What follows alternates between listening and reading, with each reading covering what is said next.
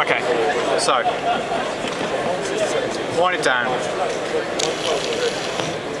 So now it's uh, the nuts flush, but I haven't put any load in the bolt. Okay.